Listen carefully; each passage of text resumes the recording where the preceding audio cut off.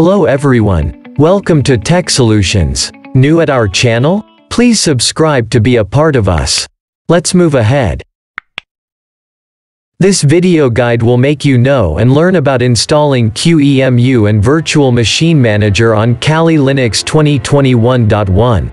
What is QEMU? QEMU is a generic and open-source machine emulator and virtualizer. You can create virtual machines in Kali Linux easily with these libraries and resources. Let's install it. Open Terminal app on your Kali Linux. Get into root mode with sudo su command entering your root password. Run the sudo apt update command to update your Kali Linux.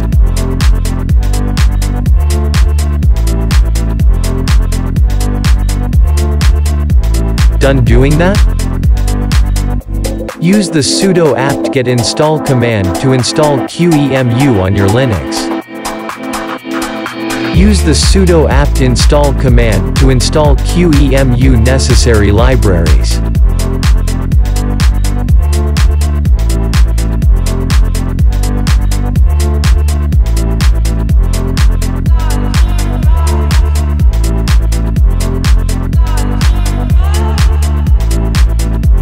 Done installing? Close terminal. Open terminal again. Get into root mode once again.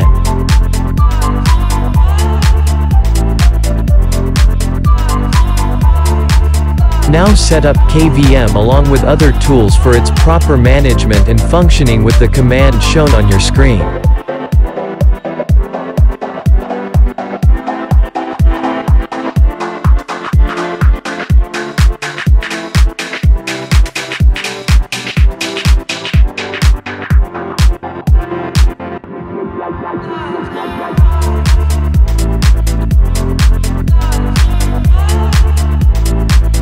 You must type Y for confirming the install process.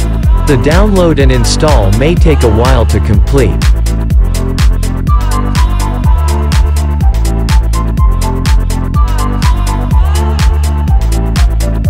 It's done. The last step is to install Virtual Machine Manager GUI on your Linux distro.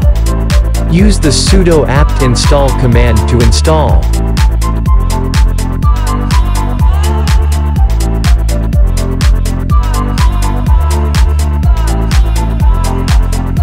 Confirm with a Y again. It may complete in couple of seconds.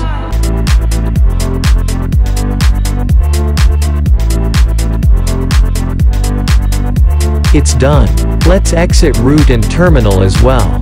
Let's start Virtual Machine Manager based on QEMU.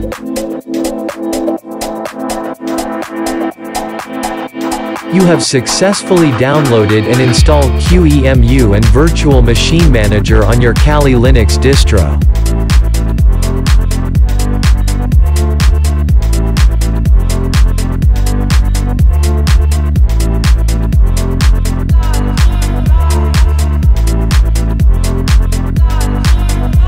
Start creating virtual machines and manage them with GUI in your Kali Linux distro. Like the effort? Please appreciate with your likes and comments. Thanks for watching.